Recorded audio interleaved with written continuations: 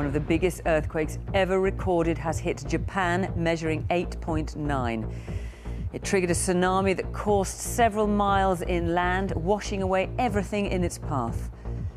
Thousands are feared dead as homes, boats, entire trains were swept away by a wall of water up to 10 metres high.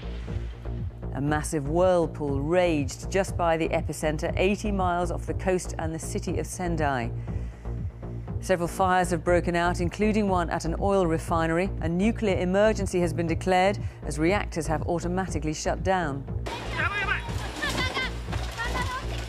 There have been more than 50 aftershocks. The quake was 8,000 times more powerful than the recent one in New Zealand. The shockwave was felt strongly even in Tokyo, some 250 miles away.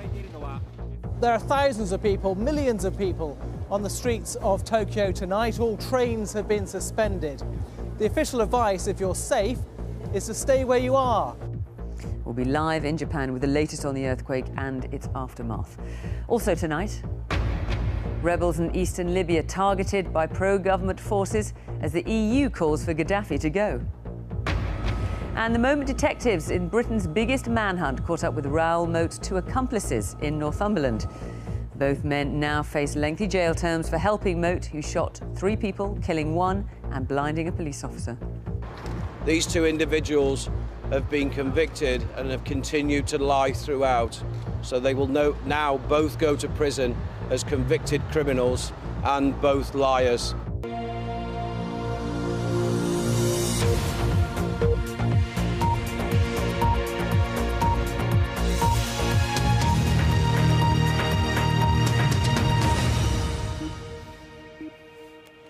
Good evening. Welcome to the BBC News at 6. A huge earthquake has hit Japan, the biggest in its history, triggering a tsunami which has swept several miles inland, washing everything away in its path, causing massive devastation and loss of life.